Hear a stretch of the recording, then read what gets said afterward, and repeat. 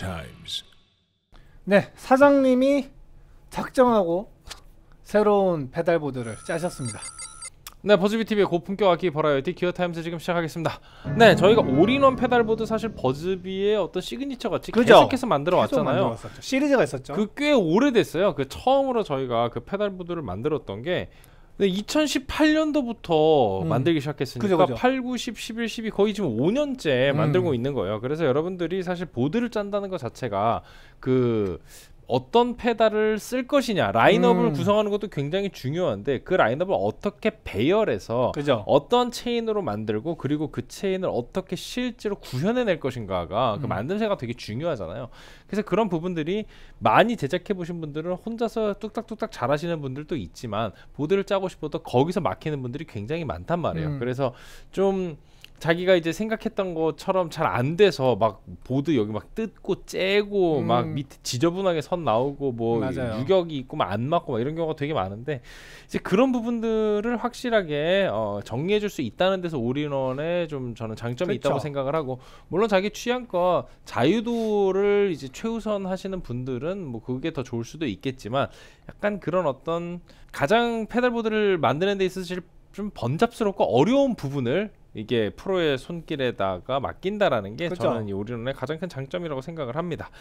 어, all-in-one은 제일 작은 애들 있잖아요. 미니로만 짠 애들, 컴팩트. 그렇죠. 100만 원대 초반부터 이제 나와 네. 있었던 컴팩트부터 있었고 컴팩트의 스탠다드 그리고 스탠다드보다 조금 더 가격이 비싼 컴팩트 프리미엄 작은 네. 애들 비싼 애들로만 구성이 됐던 그리고 프리미엄이 또 버전이 몇 개가 있었고 그리고 세션도 버전이 몇 개가 있었고 네, 네. 그 다음에 빈티지에서 300만 원 위로 올라가서 좀 빈티지 사운드 위주로 만들었던 pedalboard가 있었고요.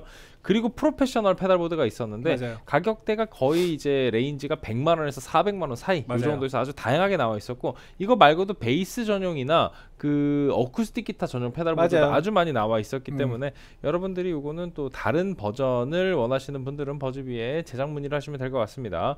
자 오늘은 이제 올인원 앰프 프리미엄이에요. 왜 네. 앰프 프리미엄이냐? 바로 여기에 이제 Dream 65를 통해서 여기에서 스테레오로 sound making을 하면서 앰프 사운드를 네 음. 바로 시뮬을 할 수 있다라는 게 여기에 가장 큰 장점이자 특징이 되겠고요. 그래서 이 pedalboard의 기존의 프로페셔널과 차별화되는 특징은 Dream 65의 존재와 스테레오 output의 setup이라는 게 맞습니다. 네, 포인트라고 할 수가 있겠습니다.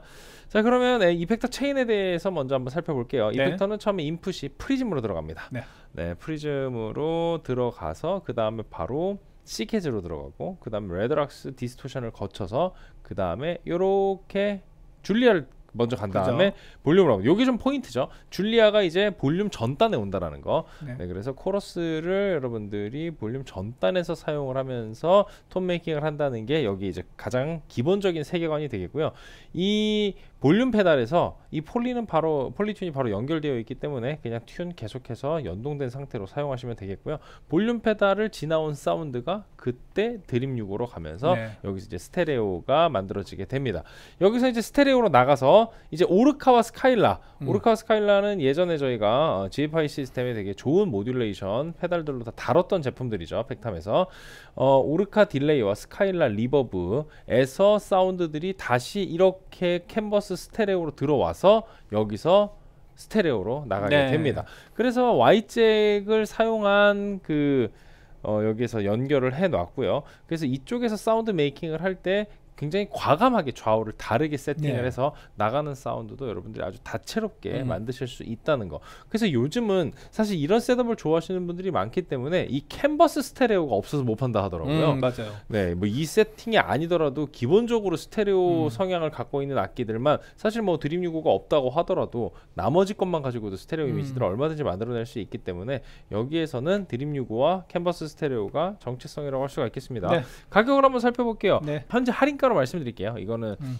할인가 기준으로 했을 때 프리즘이 42만 8천 원, overdrive 시게즈가 36만 9천 원, 레드락스가 29만 9천 원, 그리고 A3 어, custom 볼륨 페달이 33만 8천 원, 그리고 Julia 아날로그 코러스 비브라토 버전 2 네, 요게 V2가 31만 5천 원 그리고 Orca delay가 31만 5천 원 Skylar reverb 31만 5천 원 PolyTune이 16만 원 그리고 Dream 65가 69만 8천 원 그 어, Walrus Canvas Stereo 이게 39만 원이네요. 아, Canvas Stereo가 가격이 꽤 나가는군요. 그리고 CIOKS DC10 사용하고 있는데 이게 32만 9천 원. 그리고 RockBoard가 19만 5천 원. RockBoard 트레이가 15,000원. 그리고 케이블이 에, 19만 원어치가 들어갔습니다. 그리고 Y splitter 케이블, Y 케이블 13,000원. 그리고 effector 케이블 9만 9,500원, 공임이 40만 원. 네. 해서 이걸 합치면 477만 8,900원이 나옵니다. 그리고 이 할인 적용된 최종 보드의 가격은 399만 8,000원, 400만 원입니다. 그 이 페달 보드가 나온 음. 이유와 음. 그 최근 좀 동태에 대해서 좀 말씀을 드릴 필요가 있을 것 같아요. 어 일단 이제 오리론이 나오게 된 버즈비의 취지 같은 경우는 아까 인용이 잠깐 설명해 주셨지만 어 물론 프로를 지향하는 사람들도 쓸 수 있지만 그 이제 초보자들이 자기가 어떻게 짜야 될지 모를 때 그냥 말 그대로 기성 품 중에서 좋은 것들을 골라서 그 조합으로 그냥 완벽한 그 보드를 그대로 받아가신다는 음. 그 시점에서 출발했던 것이고요. 그래서 초보자분들도 누구든 뭐 초보자부터 프로까지 누구든 와서 편하게 쓰일 수 있게 시작된 게 시작이었는데 그 사이에 어, 이 씬이 좀 많이 바뀌었습니다. 음. 그 예전에는 공연장에 갔을 때 보드를 들고 가서 앰프에 연결해서 앰프에서 miking을 하고 그거를 이제 엔지니어 분들 받으셔서 이제 메인 스피커로 내보내는 이 시스템이 원래 전통적이었고 그렇죠. 그리고 무대 위에도 이제 웨지가 있어서 그 악기 포지션 악기가 자기 포지션 안에서 웨지 사운드 들으면서 모니터하는 구조였다면 그 다음 단계로 나아간 게 뭐냐면 이제 연주자들이 이제 점점 in-ear를 그쵸. 듣는 게 많이 보급이 됐고 그것도 많이 바뀌었었어요. 계속 웨지를 고집하시는 분도 있었고 저 같은 경우도 굳이 이제 in-ear를 많이 쓸 일이 음. 없었던 시절이 있었기 때문에 그렇게 가다가 in-ear 시스템으로 많이 왔죠. 그러다 보니까 이제 무슨 현상이 이제 일어났냐면 wedge가 무대에서 많이 없어지는 음. 처음에는 wedge가 없어지기 시작했습니다. wedge라면 아까도 말씀드렸지만 모니터 모니터 스피커. 스피커. 내 뒤에 앰프는 있으나 wedge가 무대에서 없어지기 시작했어요. 그래서 어, 가수 쪽 정도에만 wedge가 있고 음. 그렇게 없어지다가 이제 또 판도가 또 바뀌기 시작합니다. 왜냐하면은 그 OX, Kemper 요게 음. 무대 위에서 이제 판을 치기 시작하죠. 처음에 음. 이제 Kemper가 좀 더 판을 치기 시작했더니 무대에서 뭐가 없어졌냐? 무대에서 이제 앰프가 없어지기 네. 시작합니다. 앰프가 없어지기 시작하니까 무대 위에서는 드럼 소리밖에 없죠. 그렇죠. 그러다 보니까 이게 무대 사운드 디자인하는 엔지니어들이 굉장히 용이해지고 편해지신 음. 거죠. 그래서 지금 뒤에 좀 이- 말씀드리겠지만 어쨌든 그렇게 됐었는데 Kemper를 쓰면서 약간의 무슨 좀 아쉬움이 남냐면 아날로그 사운드를 좀 지향하시는 분들의 아쉬움들이 많이 남았어요. 그렇죠. 그래서그 OX랑 계속 이제 약간의 양분을 했었습니다. 그래서 음. OX 쓰시는 분들은 이- 개인적으로 원래 setup하시는 페달보드를 들고 음. 다니셨는데 문제가 뭐냐면 짐이 다시 많아졌어요. 음. 앰프 헤드와 OX, 내 페달보드 이렇게 들고 다니게 되는 세팅이 됐는데 최근에 이제 그 전에 이제 Dream 65가 나오기 전에 타 브랜드의 앰프를 가장한 페달 보드들이 많이 나왔었어요. 네. 그래서 세션들 사이에서 어, 그리고 이제 무대에서 그거를 보드 위에 올려서 이제 하는 세팅들이 조금씩 시작되고 그 음. 당시 때 이제 갑자기 뭐가 나냐 이제 Quad Cortex가 나오기 시작하죠. Quad Cortex가 나오면서 가볍고 Kemper랑 견제가 되면서 보드 위에 세팅에 아날로그 페달과 같이 결합해 쓸 수 있는 사이즈가 나오고 그렇게 나오다가 Quad Cortex가 어떻게 되죠? 지금 지금도 안 들어오고 있습니다. 네, 물량이 없습니다, 물량이 이제는. 없어요. 그걸 원해도 할 수가 음. 없어요. 네. 그리고 어쨌든 Quad Cortex가 결국에는 이제 지향하는 사운드 어쩔 수 없이 아무리 아날로그로 지향한다 한들 디지털 사운드이기 때문에 음. 또 거기에 대한 아쉬움이 있었으나 요 타이밍에 이제 UAD에서 음. 어, Dream 이 육오가 나온 Dream 거죠. 유고와 루비 그리고 Woodrow가 나오면서 음. 아날로그 앰프 사운드를 가장 잘 만든 음. 이게 나오기 시작합니다. 그러면서 이 보드 세팅이 가능해진 거죠. 그렇죠. 어. 그래서 이제 무대 위에 내 아날로그 보드를 그대로 들고 올라가서 음.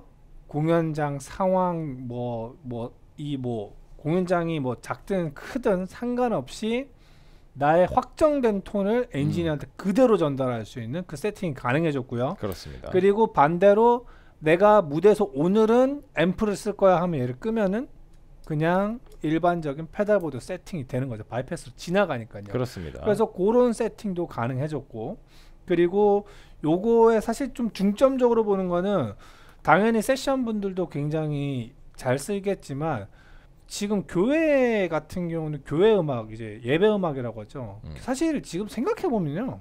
공연 공연이라는 명칭을 두면은 공연을 제일 많이 하는 데는 교회입니다. 그렇죠. 그 일주일에 예배가 도대체 몇 번이 그 계속 공연을 하는 거죠. 수요 예배도 네. 있고 금요 철야도 있고 주일만 해도 이제 일부에서 뭐 5부 뭐 길게는 뭐 7부까지 있는 데는 계속 찬양팀이 돌아가잖아요. 그럼 그랬을 때 요즘 교회도 보면은 이제 뭐 교회가 좋고 음향이 좋은 시설에서는 뭐 풀로 할 수 있겠지만은 작으면 작을수록 드럼이라든가 이런 miking 하는 것도 쉽지가 않고 앰프 이거를 사운드 잡기 어려운데 맞아요. 드럼부터 해서 모든 걸 라인으로 줄 수 있다면 굉장히 효과적이거든요. 그렇겠죠. 그랬을 때 가장 유리한 세팅이 지금 Dream 65 세팅이고 이게 편법으로 뭐 이렇게 간다라는 느낌보다 사실 요즘 트렌드입니다. 그냥 음. 어쩔 수 없는 트렌드. 무대 위에 소리를 없애자. 그렇죠. 그래서 어, 그 무대 위에 소리를 없애게 되면 또 좋은 점이 뭐냐면 보컬 마이크의 EQ잉이 굉장히 용이해집니다. 음. 왜냐하면 무대에서 아무 소리도 안 나기 때문에 보컬 마이크로 타고 들어가는 소리가 아무것도 없잖아요. 그렇죠. 그래서 쓸데없는 톤을 제거하기 위한 디테일한 EQ잉보다는 보컬 톤에 잘 어울리는 EQ잉이.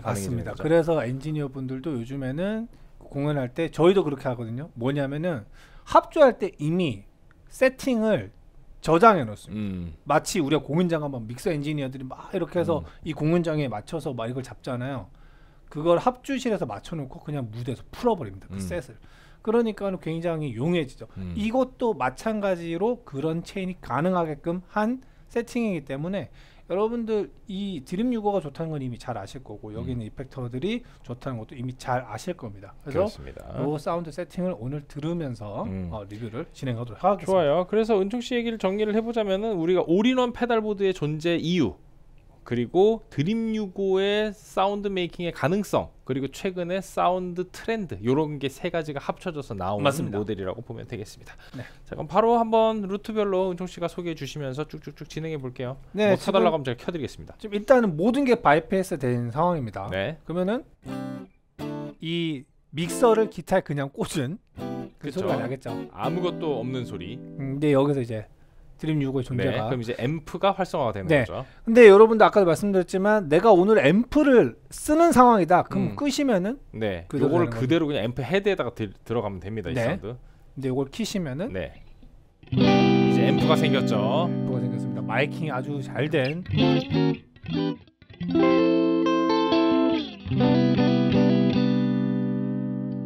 그리고 뭐 시작하기 전에 여기 위치가 여기에 왜 돼 있느냐라고 생각하실 분이 있어서 이것만 잠깐 음. 좀 설명을 드려야 될 것 같은데 앰프가 중간에 있는 이유는 간단합니다. 우리가 앰프에서 앰프 게인을 사용해야 될 때도 있고 그리고 우리가 레코딩 할 때 그 Kemper도 여러분들 켜보시면 아시겠지만 앰프, 앰프 캐비넷 그 뒤에 이제 공간계가 따라오거든요. 네. 그 순서라고 생각하시면 돼요. 음. 그 일반 pedalboard와 레코딩의 그 사운드 making에 대한 두 가지를 동시에 음. 쓰기 위한 이점이 있습니다. 이거를 가장 마지막 단에 두게 되면 여기 있는 앰프 gain을 잘 활용하지 못하고 맞아요. 그리고 이제 공간계도 좀 그러니까 여러 가지 옵션 중에서 하나를 빼버린 세팅이 되기 때문에 음. 이, 어, 일반적으로 Kemper나 뭐 Fractal, Quad Cortex에서 운영하는 세팅대로 세팅을 했다고 생각을 하시면 될것 음, 같습니다. 네. 자 이제 쭉쭉쭉 가볼게요.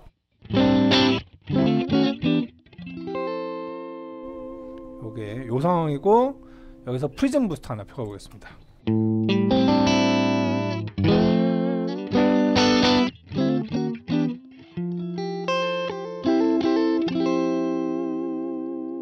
드라이브 가볼까요? 네. 네.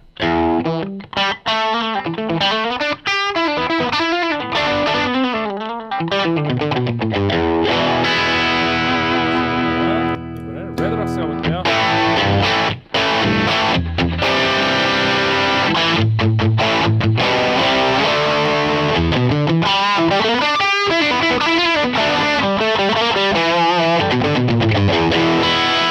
그렇죠. 이번에는 앰프에서 한번 사운드를 만져볼까요? 자 여기서 오늘 내가 앰프에 있는 좀 사운드를 좀 더 써보고 싶다. 음. 나는 좀 빈티지한 톤을 원한다. 오늘 그랬을 때 그죠 여기서 보면은 리버브까지. 오야.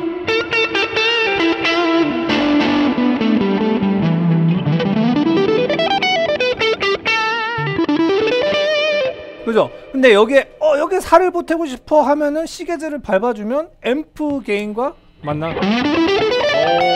이런 셋업 아주 좋네요. 네. 그러면 되게 팝적인. 사운드가 나죠. 여기다가 시계즈 대신에 그냥 프리즘을 밟아가지고 약간 밟아서? 부스트를 시켜주는 것도 방법이겠죠. 어 좋아요. 이거 그 차이가 꽤 나요. 여기서 이거는 나고. 뭐 이런 아, 식으로 좋습니다. 이 체인 순서가 돼야지 가능한 겁니다. 왜냐면 음. 이게 마지막 단에 오게 되면 어떻게 되겠어요? 내가 공간계는 다 건 소리가 앰프 네, 개인이 그쵸. 걸려서 나겠죠. 그래서 이런 세팅을 한 거고요. 음, 아주 설득력이 있는 셋업이었습니다. 좋아요. 당연히 그럼 설득력이 만약에 있어요, 전 전단에 이렇게 음. 어, 줄리아가 들어가 있다라고 그쵸. 하면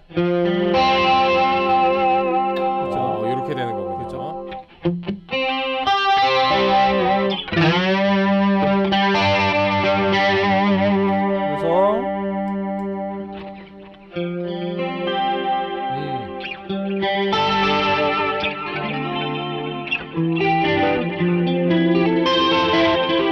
네, 그러면 이번에는 좀 어, 이런 스테레오 사운드를 한번 네. 느껴볼 수 있을까요? 그럼 뭐 저기 시계자 한번 밟아주시겠어요? 네.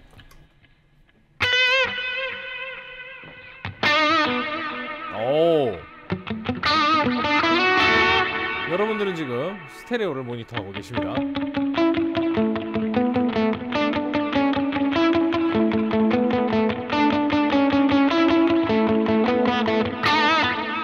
딜레이를. 좀 바꿔볼게요. 네.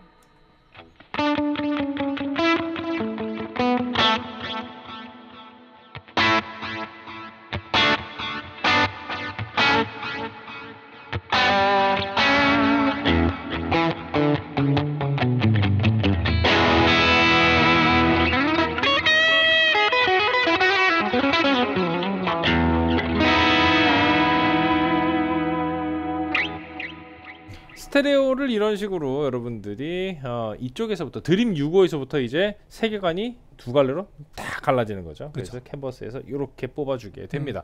이렇게 캐논으로 나가는 방법 말고 5로 나갈 수 있는. 스테레오 아웃풋도 setup이 가능하니까 여러분들의 환경에 맞춰서 하시면 되겠고요.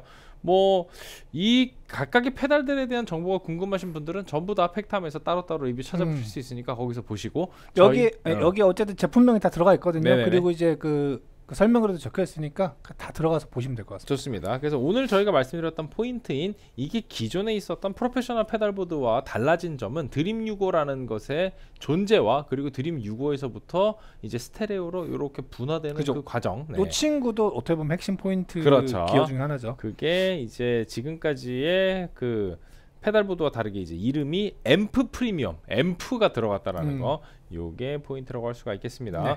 자, 뭐 사운드가 좋은 것도 좋은 건데 은총 씨가 말씀하셨던 것처럼 지금 사운드 making의 트렌드와 그리고 네. 무대 환경 점점 변화해가는 무대 환경 이런 것들에 대한 적응을 할 수 있는 그런 되게 뭔가 잘 시대가 잘 반영된 그런 보드라는 생각이 들어가지고 그런 부분이 굉장히 반갑네요. 그러니까 이게 사실은 무대 사운드를 더 개선하기 위해서 계속 나온 것들 음. 그리고 녹음을 어떤 우리가 엄청난 공간이 필요해야지만 녹음을 할 수 있다라는 거를 제약을 없애려는 음. 그 트렌드도 있지만 이 교회에서 예배 음악 하시는 분들한테 음. 약간 말씀드리면 더 이상 이제 권사님 장, 장로님한테 혼날 일이 없는 기타 소리가 왜 이렇게 시끄러워 드럼 네. 소리가 왜 이렇게 시끄러워 소리를 그럴 일 없네. 들으지 않, 그렇습니다. 되는 네. 그런 세팅이라고도 볼수 있겠네요. 그렇죠. 무대 위의 셋업은 어떻게 보면 점점 현대화되고 점점 디지털화가 되고 있는 와중에 기타 사운드는 계속해서 빈티지함과 아날로그적인 느낌을 음. 지키고 싶기 때문에 나온 아이디어라고 맞습니다. 보시면 되겠습니다.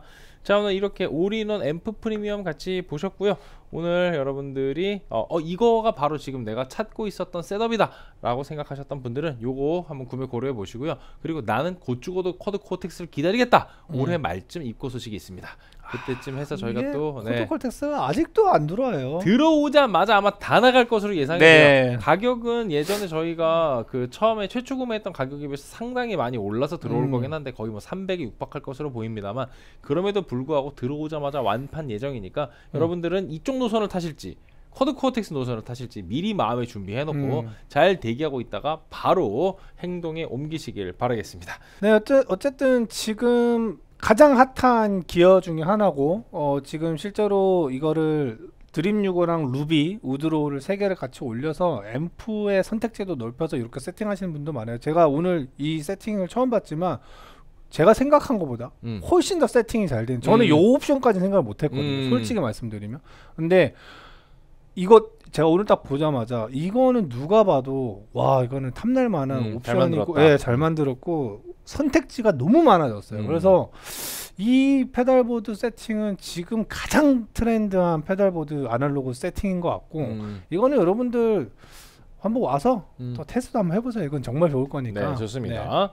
자, 오늘은 여기서 리뷰 마무리하고 마무리는 은총 씨의 멋진 시연과 함께 리뷰를 마치도록 하겠습니다. 저희는 여기서 인사드릴게요. 마무리 주시죠. 네, 유튜브 구독과 좋아요는 저희 큰 힘입니다. Gear Times.